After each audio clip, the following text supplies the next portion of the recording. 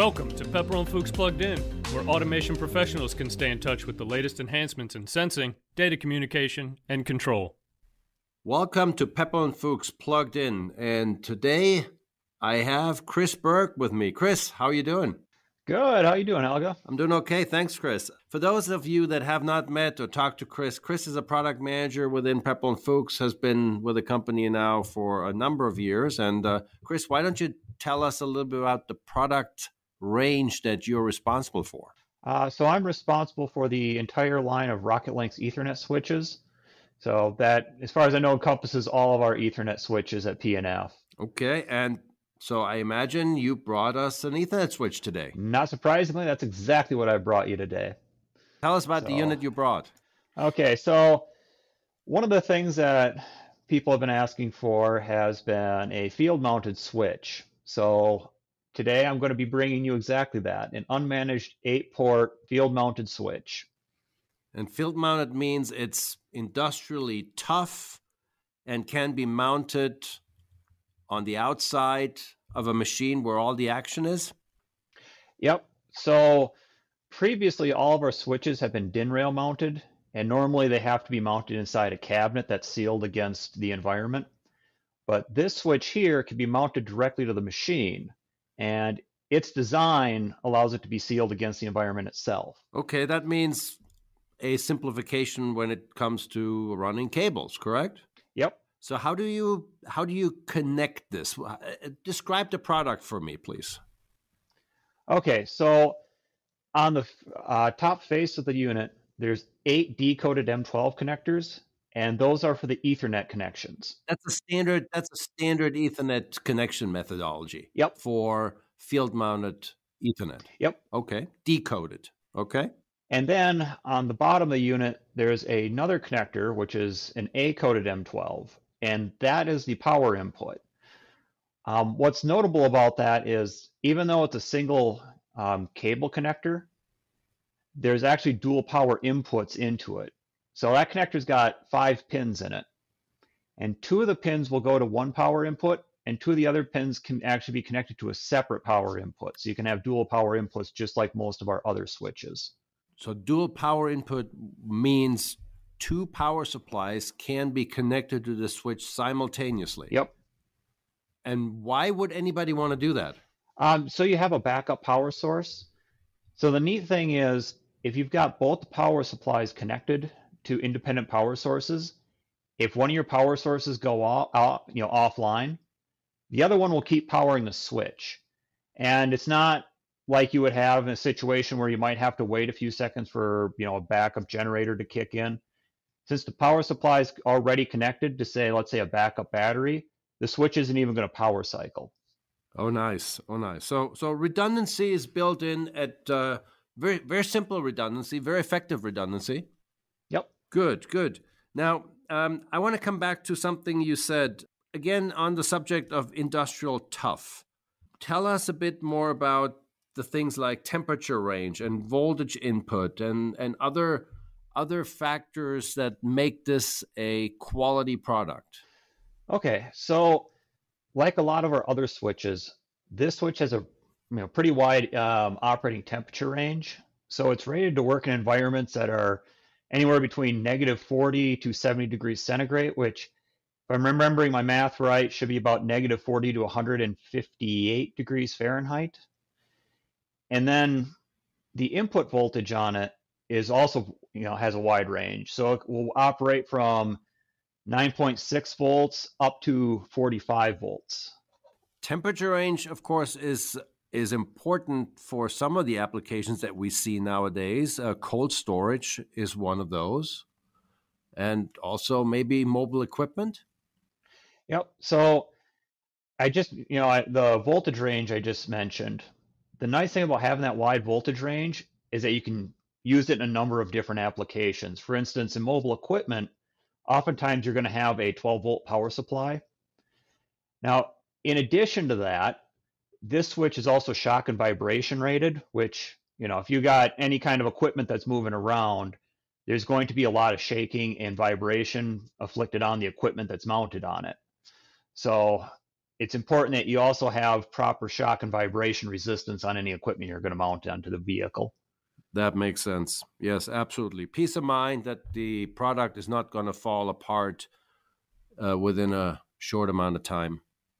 So let's let's switch over. We talked about connections and mounting and and the general quality, the feel of the product.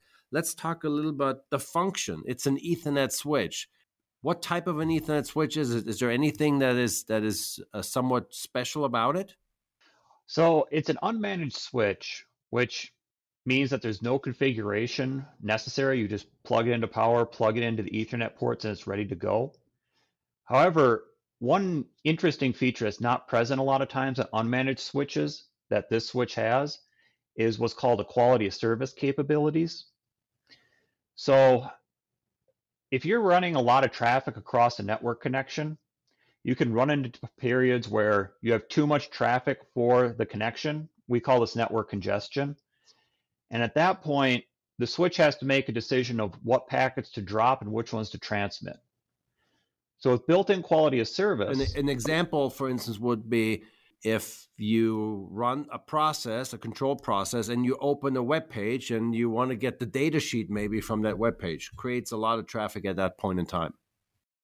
Right. That's one instance where you could just run into a situation where the switch suddenly has to start dropping packets. Now, if you're doing control data, you really want that traffic to go through, and the data sheet you're downloading it's not going to be as important as the control traffic. Absolutely. So a lot of protocols like Profinet and Ethernet IP, what they'll do is they tag their traffic as being a high priority um, packets. And any switch such as this one that understands quality of service tags will know to prioritize the Profinet and Ethernet IP traffic over, you know, the web browser traffic to download that data sheet. That's great. That that is a feature that is typically present in managed switches but needs to be set up. So for this particular unmanaged product, it's just there. It's automatic. Yep. Good, good. Um, I want to come back to uh, something you just said in passing here. You talked about Profinet and Ethernet IP. What type of product can be connected to this switch? So anything that talks Ethernet can be connected to this switch.